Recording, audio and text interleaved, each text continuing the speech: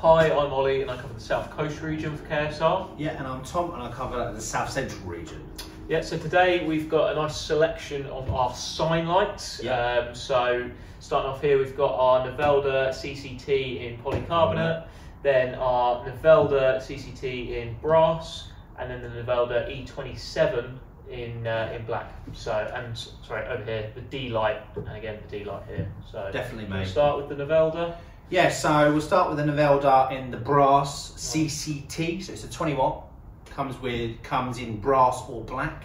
So being CCT, you know, it's you're easily catered for when you turn up to site installed product. You don't necessarily need to worry about what lamps go in there. You can just select between the three colours. What would work best for that particular sign? Because it could be different colours and stuff like that. Yeah. So that's a really good option. So popular. Which sometimes you wouldn't have thought it would be, but it's still strong. Well, yeah, no, it's, it's sort of an old style fitting, isn't it? But we've sort of modernised it, made it LED, and to be honest, traditional buildings and Yeah. shop fronts, they still use them, they still need them. Yeah, um, so yeah, we, we do get a, a call for them. Um, so yeah, hence why Yeah. hence why they're in the range. It's in the range, exactly right. But if you, you know, if you still wanted to go with the sign light, but maybe a cost-effective option, we've got an E27, so you can put your own LED lamp in there. Yeah, Again, comes in black and the in the brass, so really popular light. Looks really cool. does. Really, really yeah, I good. like the black one. So yeah, and it moves about like that. So you can obviously, when it's when it's installed, you can just move the way, nice like that, Yeah. to adjust the sign. Nice, cool.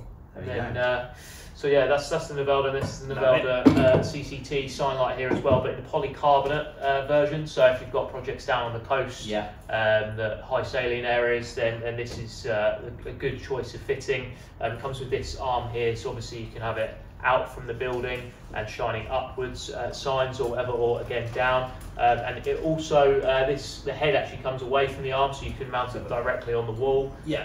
Um, so yeah, it's uh, I believe you can have a 520 mil uh, arm and 220 mil. yeah yeah. You believe get a you, like you one. mentioned, yeah, like like you mentioned, that can butt up right there, can be the lights. There's three different options really. Yeah, yeah, exactly. And again, CCT, so they can Yeah. select their their colour when they get to uh, when they get to Love it, site, which is uh, which is nice. And then something a bit different. We've got our, our D light, uh, which is really quite a high end uh, sign light in a nice anthracite colour, very weighty, um, 15 watt. 3000 Kelvin LED Yeah. in there, um, so this can be put either way. So it can it can be a wall wash to come up, Yeah. and uh, highlight brickwork, buildings, etc. Or again, just uh, above signs and angled back down, um, so Love it, wash downwards. And then obviously you've got the, the arm version as well there. So 15 watt, is that right? Yeah. 3000k as well. yeah, it's yeah, a lovely exactly. one, right? Yeah, Really like that to be fair. yeah, exactly. It just uh, yeah, it's anthracite as well, which is very popular at the minute. Very popular. Um, so